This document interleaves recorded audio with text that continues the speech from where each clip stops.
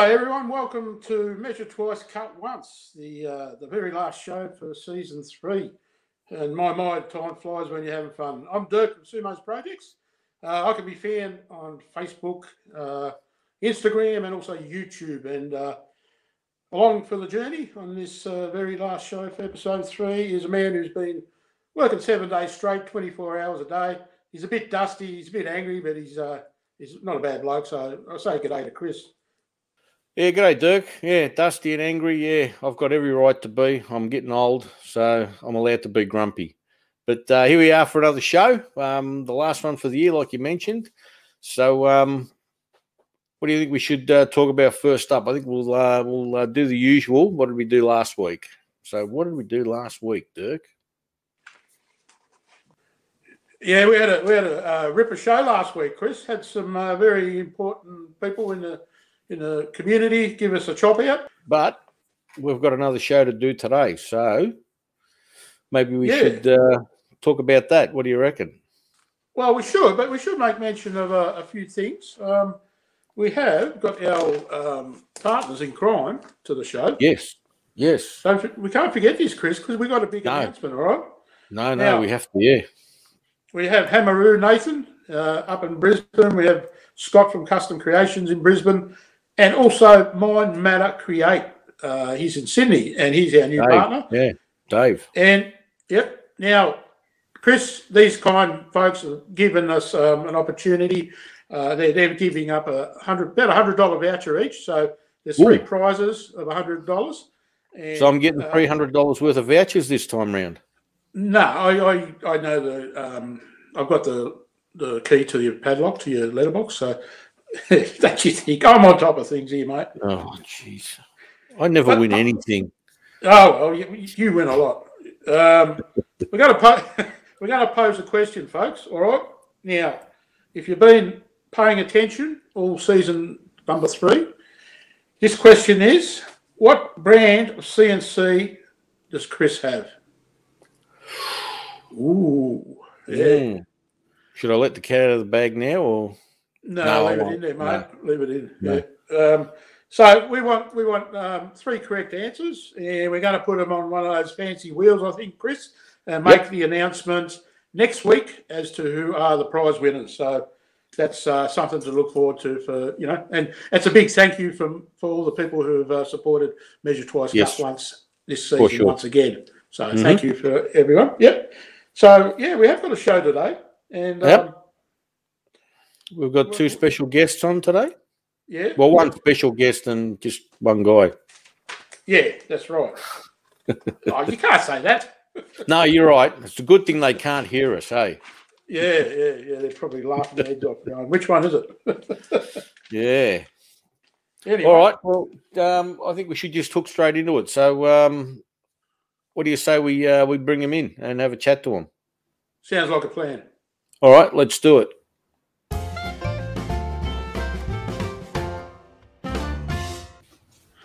Yeah, Chris, we have got a really good show today because we wanted to uh, draw some makers who, who do things a little bit different on uh, Measure Twice, Cut Once. And when I say different, they're, they're makers of quality, but they, uh, they're actually instrument makers. And um, this is something that's pretty interesting as a, you know, you don't know, I don't personally know too many people who can make uh, an instrument from scratch and actually make it work. So without further ado, I'd like to introduce from all the way from the UK, uh, Chris Franklin. G'day, Chris. Hiya. How's it going? Yeah. How are you, mate? Here, mate. And also, um, all the way from uh, 20 minutes away from you, Chris, uh, he has got an accent, and I don't know which part of the uh, the Yarra he's from, but uh, it's uh, it's uh, the, the wonderful Mr. Phil Schinbein from the Schinbein Drum Company. G'day, Phil. How are you, mate? Hello, gentlemen. How are we? We're good, thank you. So far, so good, man. Look, let's let's let's uh, let's get right into the nitty gritty of it, gentlemen. We're going to ask you a very hard hitting question to start with. Chris, number two, we're going to ask you give us a little bit of your background and your bio in, as far as the making sphere goes, mate. Yeah, uh, I kind of I only really started four or five years ago when I was uh, just fumbling around in the garage trying to find something to do, and uh, I found an old guitar of mine that was broken. So I thought, well, I can fix this, and uh, yeah, so I worked out how to fix it. Um, worked out there's a lot more to it than I thought there was, and uh, kind of got addicted after that. And I didn't own hardly any tools then, and now I've got a shed full. So that's how I got uh, started. off.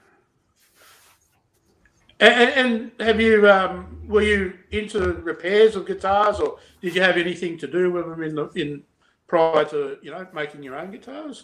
No, no, not really. I kind of um, I kind of forgot all about guitars for about twenty years, and then, like I say, I just found my old guitar in the garage, picked it up, and got addicted to uh, playing with it. So uh, I'm I'm better at making them than I am playing. So I think I'm maybe I'm compensating there. I, I was going to actually ask the question: Do you do you play the guitar? Badly, but yeah, I do a bit. Yeah.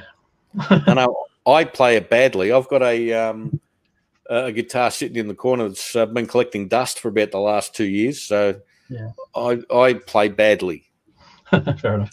Yeah, I mean, Dirk did the um, Scrapwood challenge, which is why I put this one up here. So that's the guitar I built for the Scrapwood challenge you did, and that you caught me just on the wave of getting into it again. So that was good timing. So Yeah, and, and, and he, no, he belts out some good riffs, Chris. A bit of a bit of hard rock sort of stuff, and that's what Yeah, got him got him onto the show.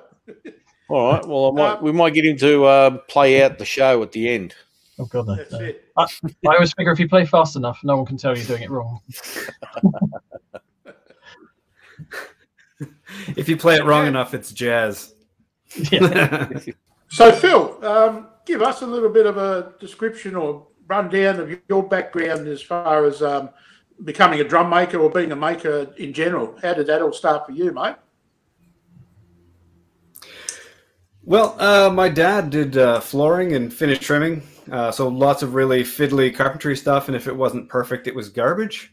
Uh, so I kind of came up doing that in that world. But uh, the first drum I ever touched uh, when I was 12 years old, I broke. Uh, and being a kid, I didn't want to get in trouble, so I fixed it before anybody noticed. Um, I didn't do a very good job, but I did well enough that I didn't get in trouble. So I've been kind of doing that ever since, um, getting things just good enough to get it across the line, you know. Uh, and eventually, at some point, the two paths kind of merged, um, and I took uh, the the woodworking and finishing and whatnot skills I learned from my dad, combined them with the drum stuff, and uh, you know, here I am. I'm going to ask the question as well, Phil. Um, do you play the drums? I do. Yep. Uh, I studied drums at university. Uh, what was called Malaspina at the time, but is now Vancouver Island University on the west coast of Canada. Um, and I toured the world playing uh, jazz, small combo stuff for the most part. Um, and uh, met a lady in my travels and ended up down here. Uh, and I played with a band called the the Bon Scotts for a while, and that was just great fun.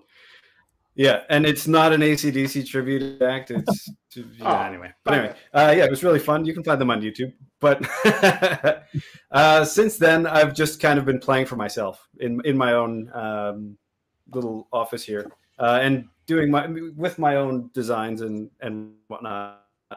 So yes, Okay. In short, yes. Okay. And Chris, uh, we know we know everything you tackle in as far as uh, trying to construct something. There's set certain certain set of uh, skills required, aren't there? Like um, you know, you build cabinets. Uh, obviously, there's a the technique to making cabinets. Um, so, Chris, number two, are there any particular skill sets that you find uh, were necessary to be able to make a guitar as far as because you, you, you, you're making the shape of it and then you're introducing uh, fretboards and you know strings and all that sort of thing. Is that is that something that takes a long time to actually get your head around? Yeah, there's various stages to it. I think if you're beginning, then just if you build a body and forget about the rest of it, then most people listening to this will be able to do that anyway. If you can build a breadboard or a chopping board, then most of the skills are there. You're laminating wood together, you're putting roundovers on, you're maybe making cavities for the handles. So the basic woodworking skills that's there. Um, the confusing bit is the electronics because I don't understand the wiring, so I always have to look up the diagrams for that. But so yeah, the skills you got your woodworking. There's some carving involved, depending on the guitar and the neck, or and then basic metalwork trying to file down the ends of the uh, fretboard. And then once you've done that, then there's quite a lot of setup where you've got to mess around trying to make it look perfect. But yeah, Are there, said- uh, uh, sorry, are there, there measurements um, when, when you're making a guitar? Are there measurements that you, you can't change, or is it? yeah, definitely. there is. Okay, Between the, the nut at the top, which you can't see there, and the bridge, that has to be. You have to decide what that is when you're making the guitar. I mean, there are Fender and Gibson and PRS have what they've decided is the right for them, and then the spread of the frets between the two distances. Uh, there, there are calculators online. I would never try and work it out, but um, yeah, they have to be exactly precise, really. And then you have to be. Um, there's a lot of uh, measuring twice when you have to align everything over the uh, fretboard to make sure. I've made a few guitars where the strings aren't over the neck. Um, Are there any copyright uh, things with guitars? Say, you know, you got Jack, um, Jackson who make a Flying V, I think, or uh, Les Paul. Yeah, are there any types of things you have to consider when replicating a guitar? um, Gibson, for instance, will go after their body shapes, but I don't know how much luck they've had trying to stop people from doing that. Um, most body shapes seem to be up for grabs. The shape of the headstock, let me just bring that down. The shape of this can be trademarked because that's kind of the identity of the guitar, which the bit that makes it more recognizable. So Yep. you wouldn't go copy, you wouldn't copy someone's headstock if you were trying to sell something. If you're making something for yourself, then do what you want, really. And over to you, Phil. What are there any um, sort of special skills needed? You know, like a, I suppose you say you see a drum, drums as being something that's uh, one bit that's sort of rounded over. You know, to make a I don't know a snare or or is there lamination work involved? Or can you you tell a little bit Yeah. about the particulars? Yeah, yeah. Uh, there's three basic ways to make a um, a, a wooden drum shell, right? Uh, the apply lamination way, which is kind of Ludwig and everybody do, right? Uh, the the major companies do because it's costs next to nothing to do, you know. Um, and then there's uh, stave construction, like a like a barrel, and then there's uh, like a segmented, like bricks in a well, I guess, right? Um, those use more timber and less glue, uh, but they, they are very insanely particular, right? Um, like, for instance, which way do I got to go here? This one here, this white one that I made, uh, that's a 210 piece drum shell. That's seven 30 piece um, uh, rings, right? And each individual one is six degrees on either side so that it lines up, right? And if you're off by a tenth of a degree, then you've essentially added a whole nother uh, segment to the ring, right, to make it close up properly. So you have to be precise with uh, with the angles on your cuts. Other than that, it's just fairly uh, basic router work uh, and and timber finishing, really. Okay. Is there any any particular timber that you use for it, or does anything? Yeah, I, I suppose you can't use like plywood to do it. Funny you say that. Actually, that white one is plywood, but cut vertically into segments. I, I made that drum specifically to break every single rule I could think of. Uh, it's a 16 inch snare drum. Most are 14. Uh, it's uh, a segmented shell, but each individual segment is made out of plywood on its side. You know, uh, but generally speaking, uh, you want to use hardwoods, right? Um, the harder, the better. Generally, uh, they'll project more. They'll absorb less sound, so you get a, a bigger, louder sound. Um, and Australian timber are actually beautiful for making drum shells out of because the trees here are stupidly hard. They're just ridiculous. You know, um, like I like back home, there's maple and walnut and all this kind of stuff. And you know, I, I was cutting a piece of uh, rock maple, quote unquote, the other day, and it was just like zip straight through my table saw, no problem, no problem. you know, and then I switched to you know some of the gums that I got lying around, and it's just struggling. My myself was just like, I'm not designed for this. You know.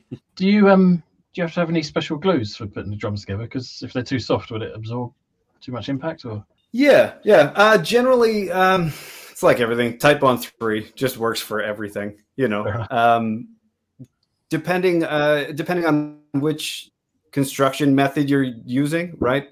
Uh, some sometimes with stave shells, uh, if you've got the depending on which way the grain's running, if you're going if you're gluing into end grain or something, you might need to do a layer of poly or something uh, like a polyurethane glue first, and then you know let that cure and sand it flat so that it's not as absorbent, you know, and then glue it up normally. But it's just general basic woodworking stuff. If you're aware of where the grain is going, you can make a drum. It's not that hard. All the metal stuff you buy, you don't you don't forge it. And, and in the world of drum making, uh, like I asked um, Chris, uh, do you have to be uh, concern yourself with um, copyrights as well, as far as you know what you make? Does that uh, have an issue with another drum company?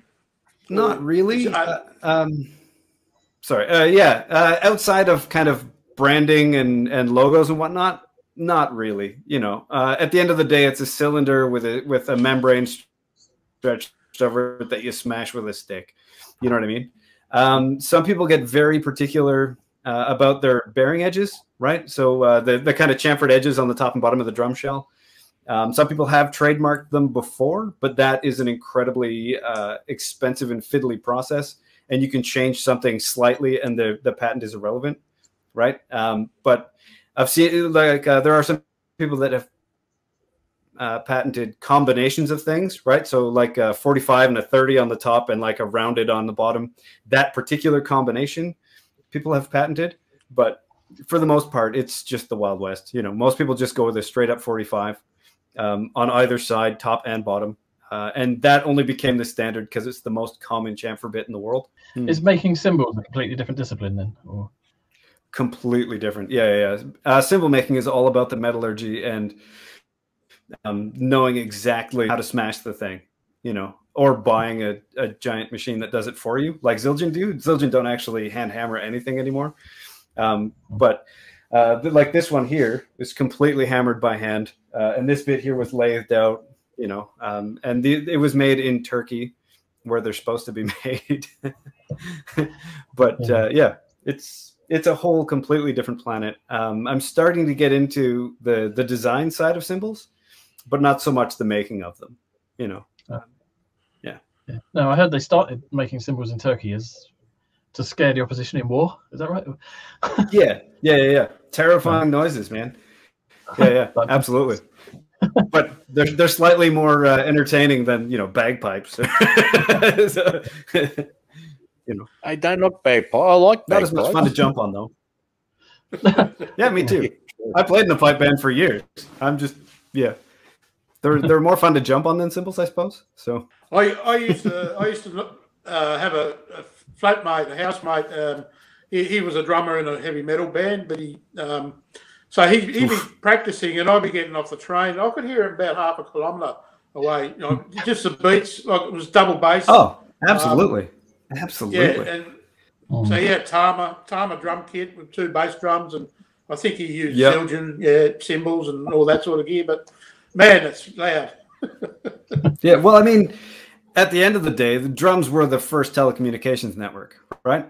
Like they they were used to signal everything from you know miles and miles apart. You know, like you're on the other side of town and they need to hear you. You know, off you come running, do your thing. you know. Well, you know, can you hear the drums Fernando sort of thing? Oh, you know, there was something in the air that night. Here we go. Edit, edit, edit. edit, Chris, edit, Chris, edit, edit, edit. Hoss normally uh, jumps into a tune when you start making up a, you know, subtitles Yeah, no, I, right. I, couldn't carry a tune in a bucket, so I'm not going to be doing any singing tonight. So. All right, moving right along, Dirk. Come on, ask another question. Yes, Hoss. Look, we've had a few shows been talking about specialised um, types of tools and things like you know we all buy tools that are necessary for our applications, but um, I, I, think Chris, uh, Chris number two in England, are there any specialised types of tools you need to be able to make a, a guitar work? And uh, is, is there anything like specific that you would purchase to build one? No, not really. Um, you can start with the most basic of woodworking tools. If you want to cut the shape out, you can use a jigsaw and sandpaper. Um, you want metalwork files rather than woodworking files to sort out the fret ends. Um, but no, there's nothing really, really that specialist you want to use. Just yeah, cutting, sanding, planing. So do you, do you make guitars to order? So have, have people ordered your guitars? Um, most yeah, I've got a few on order, uh, mostly by friends at the moment. But um, yeah, so I'm building exactly what they want rather than So y- Got yeah, so like Mark Knopfler hasn't given you a call and said, "Listen, I need a, a Rigidig special guitar or anything like that." no, no, no. I think I, Richie, what now? yeah. no, I did make one to try and get the attention of a, a band called Therapy, but all, all I got was a clap on my post on Instagram, and so I thought I'd move on from there. Yeah, I, I did. I did mention um, some time ago to you, Chris, about you know if uh, Adrian Smith or you know any of the Yeah. Maiden boys were interested in some of your guitars. You haven't got a call from them. no, not yet. No, I do have an idea for a Dave Murray guitar, so I think uh, maybe I'd make a video about that at some point. Yeah.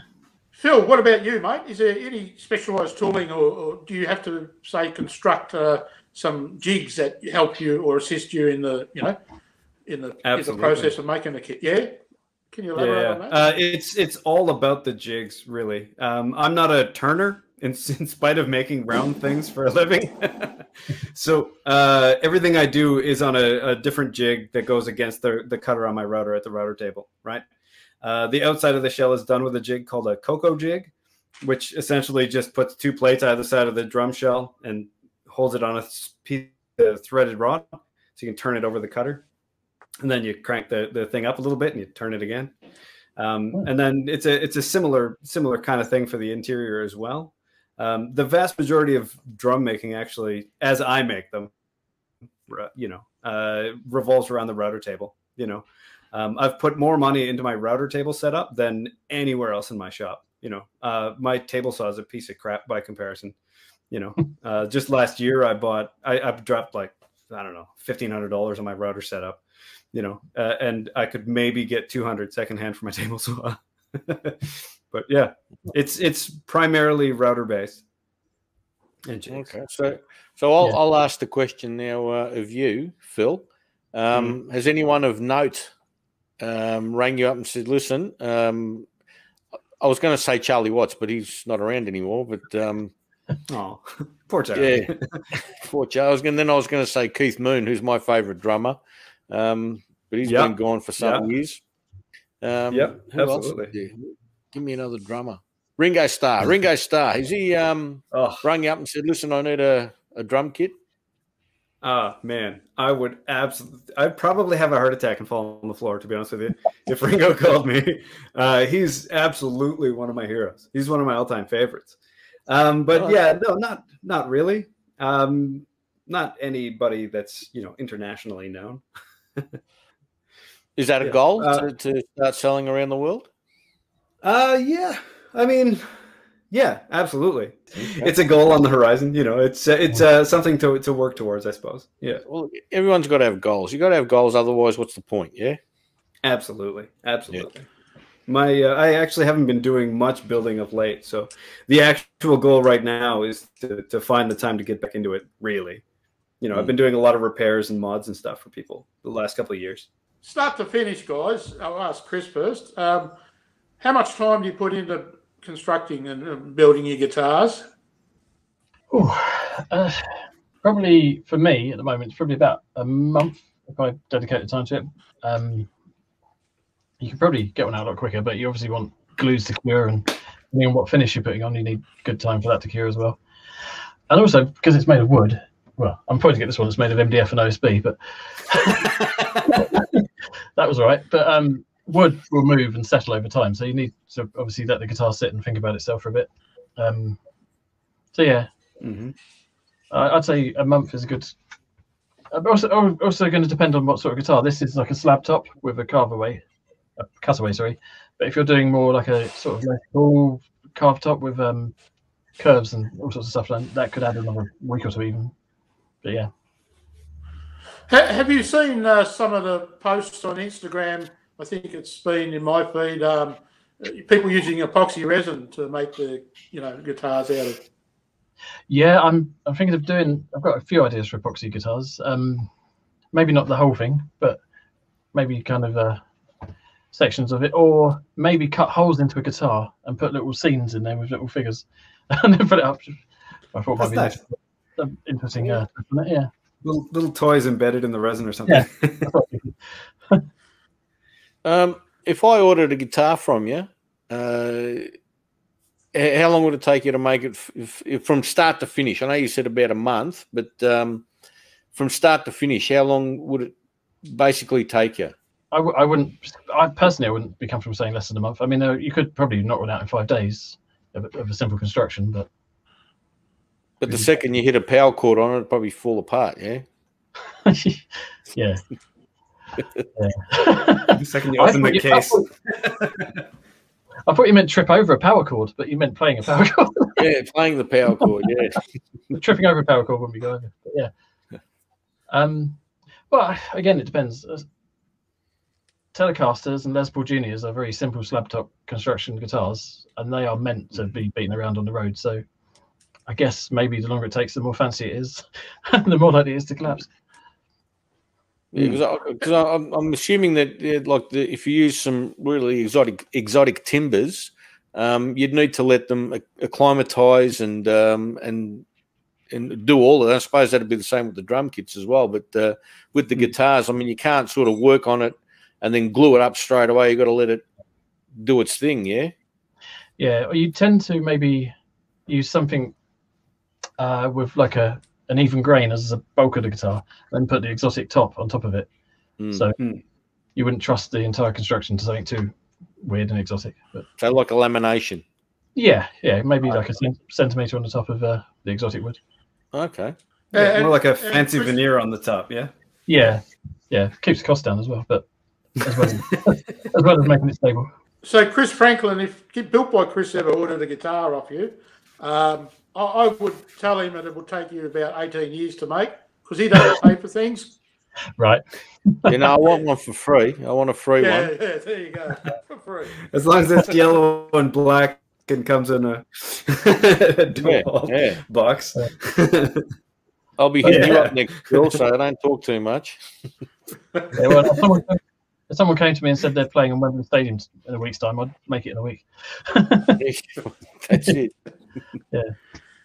And, and uh, Mr. Mr. Shimboyne, um, the, uh, the the time taken to make one of your uh, drum sets or a, a particular type of drum, how, how Yeah. long would that take you? Uh, it it depends very much on the drum, right? Uh, if I'm making the shell and it's a stave or segmented shell, um, then l- like Chris said, there's a lot of drying time and curing time of things. Um, and the finish, if it's a like a gloss, like a two pack nitro uh, lacquer on top, it'll take forever to cure before I even get around to actually polishing it. You know, um, but if it was just a fairly straightforward uh, stave shell with like a like a rubbed in oil finish, I could probably get it out the door in in, a, in the same in about a month.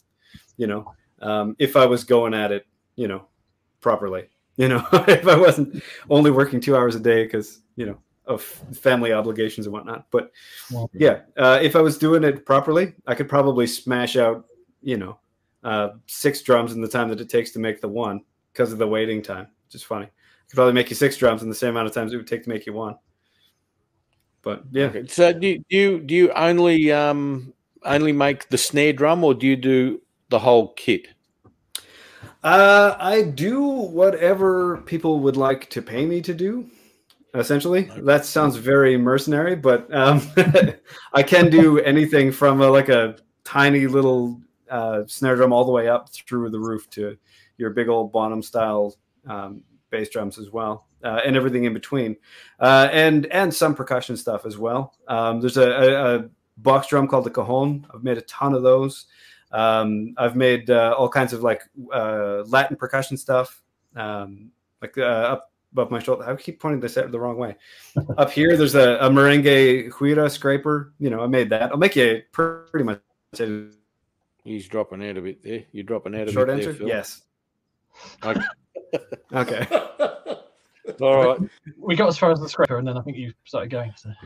Yeah. Yeah, fair enough. I Alright. kind of got off the, the, the deep end there. So, so to make to make a free drum kit for me, how long would that take? The Eight rest of your life, Chris. I tell you what, uh, you buy the timber and the hardware, and I'll put you. I'll put together a drum together for you. Why not? I've got I've got a ton of pallets in the garage now. I'll drop them off at your place tomorrow. No, drop them off at Mark's house. I'm not interested in pallets.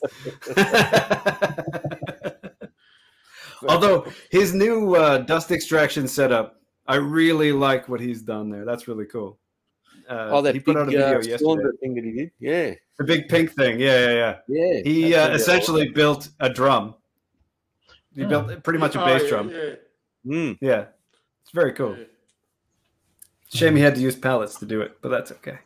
That's his thing, really. I like his his technique of making bricks out of the pallets to then build up to build bigger things is really good. Yeah, Hmm. yeah. No, he's doing well there. Yeah. Any more questions, So- Dirk? Uh, yes, Hoss. Um, guys, this is a chance for you to sell what you make. So, where's the best places you find that you can advertise your um, guitars and drums? We'll start, Chris. Where do you? Where, what's your socials? And you know, I, I mean, we know that you're on YouTube, but are there any other places you can suggest or um, think- recommend for people who are makers to be able to sell like guitars or similar type things? Yeah, I think Instagram is a really good place because you can then show behind the scenes, kind of build up, build up yourself. Because when somebody's buying a custom guitar or maybe custom drum, I don't know, they're kind of paying for the person as well as the instrument, if that makes sense. Mhm. So they want to be Absolutely. they want to be invested in who you are. So with Instagram, you can kind of build up a picture of who you are and show, um, show what you do there. And then pi- also, Instagram's got the DM capacity as well, so people can get in touch with you directly. Then, Mm. um, so yeah, that that's where I would send people to find me. But And and Phil, yourself, what do you uh, what tools do you have in Yeah, your disposal um, for advertising?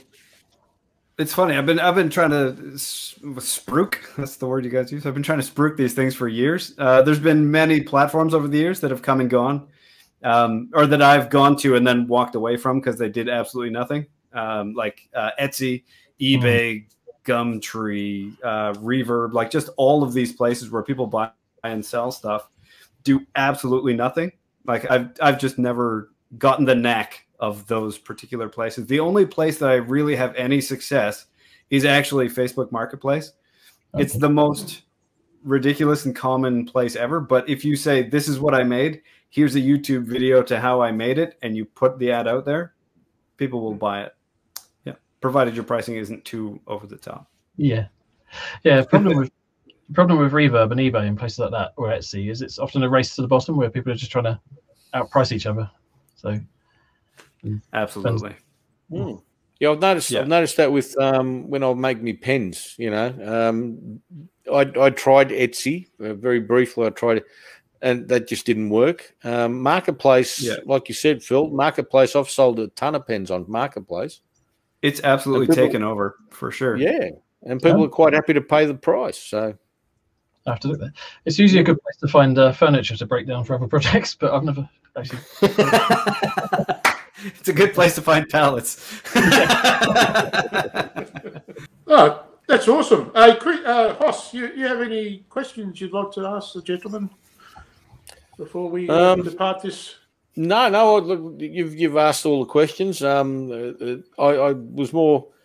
Uh, I, I liked to, to know uh, how they, how they got into the, the the making of like the guitars and the drums. Did I just hit my microphone again?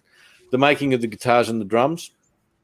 Um, I've I actually bought a um, a guitar kit about ten years ago, where you bought the body and the um, and the neck and everything, and all you had to do was glue them together and then paint it whatever you wanted. It's Right. still in two pieces in my workshop.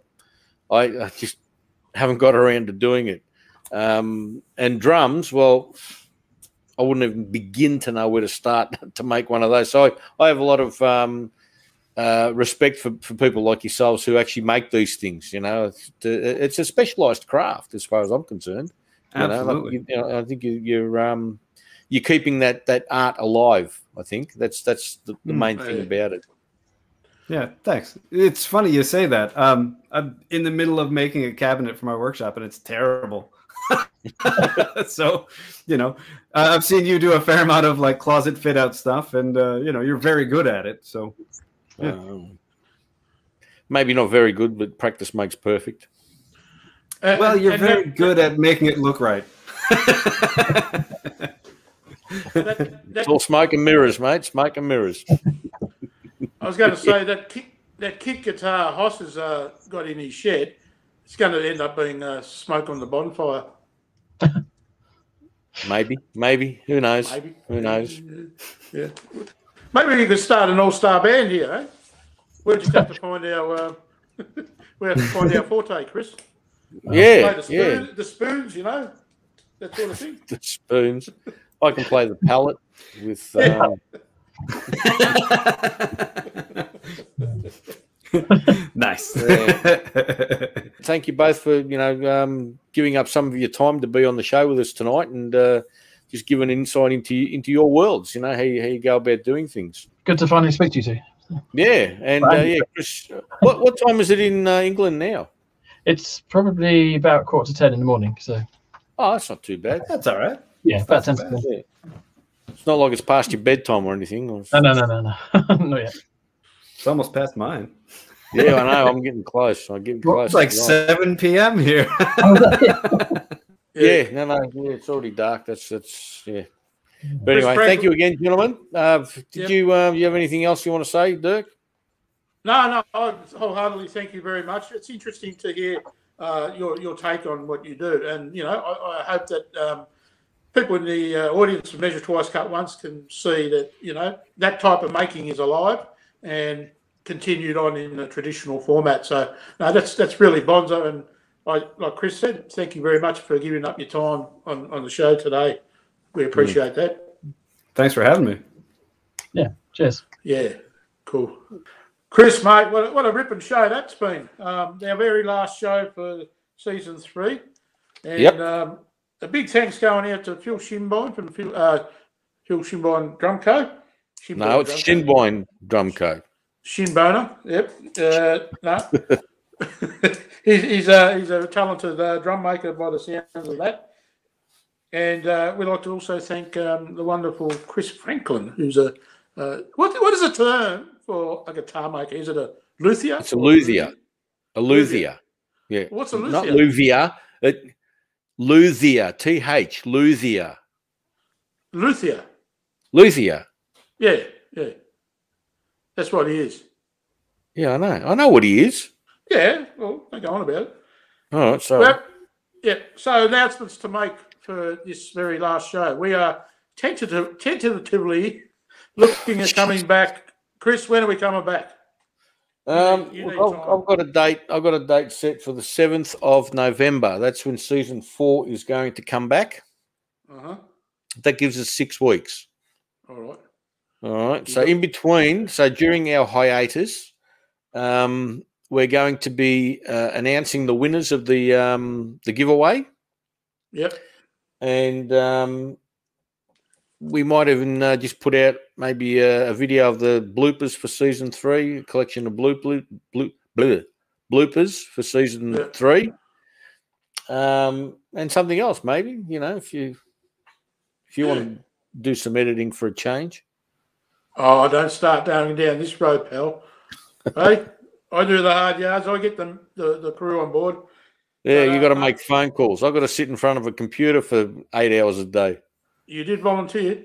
Um, we would like to spend a, send a special thanks out to our partners, Hammerroo, uh, Kustom Creations, and Mind Matter Create for donating $100 vouchers each. So there'll be three Yep. prizes.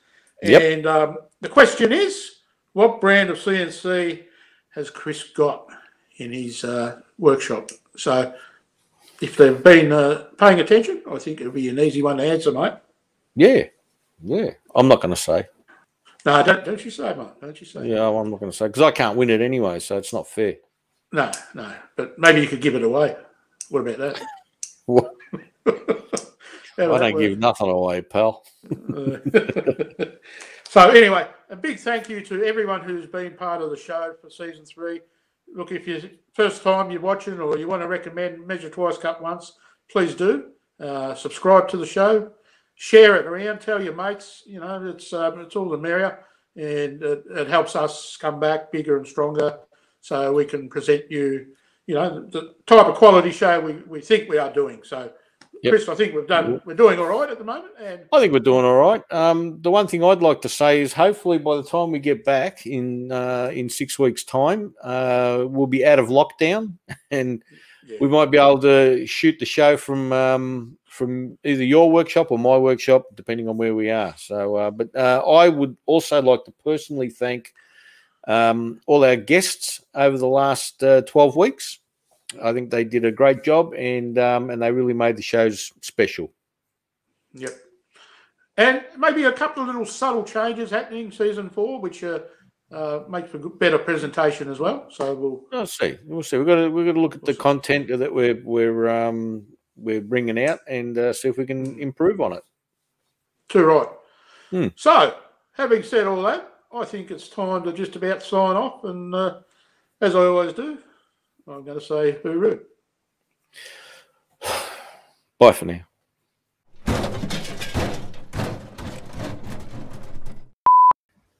Now, when I say going live, um, it's just recording. We're not actually going out onto the um, Okay. the interweb.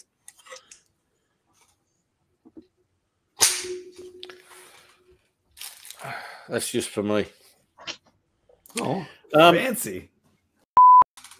So when, when, when you answer when you answer your question, just we all shut up for about two seconds, and then move on. All right, I'm, I'm trying something different in the uh, in the edit stage. Which is Okay. okay. It's not a free one, so I persevered with it because I paid for it. But um, Okay, I got Final Cut Pro and I didn't pay for it. Wait, how did you get? How'd you get it for free? Oh, it's not what you know, mate. It's who you know. all right. Now it's in the calendar, the one that you have access to. It's in the calendar. You and your high tech shit. High tech. It's a calendar. How high tech can it be? Look, look, look. This is all one lead. Hundreds of years people have been in this. I blame myself for this shit. I really do.